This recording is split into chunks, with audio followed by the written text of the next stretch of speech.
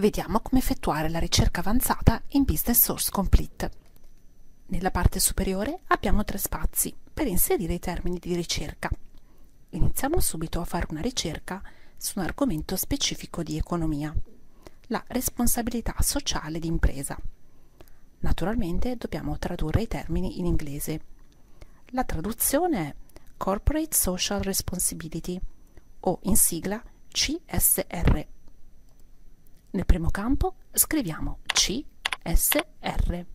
Ci viene suggerito di usare anche il sinonimo per esteso Corporate Social Responsibility. Tra le due parole viene messo l'OR perché sono appunto sinonimi. A noi va bene perché sappiamo che i termini sono equivalenti. Lo seleziono. A destra possiamo specificare dove cercare i termini. Ad esempio possiamo specificare di cercare solo nell'abstract questo serve per non trovare troppi risultati poco pertinenti.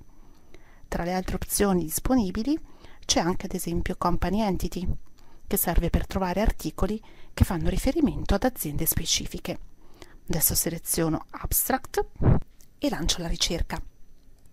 Troviamo 9735 risultati. Questo tipo di ricerca, come vedete, è di facile utilizzo ma spesso restituisce troppi risultati non sempre pertinenti.